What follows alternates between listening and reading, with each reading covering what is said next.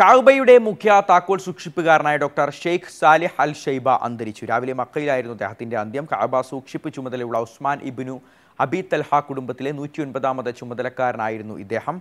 University പ്രൊഫസറായി വിരമിച്ച അദ്ദേഹം മതം ചരിത്രം എന്നിവയിൽ നിരവധി പുസ്തകങ്ങൾ പ്രസിദ്ധീകരിച്ചു.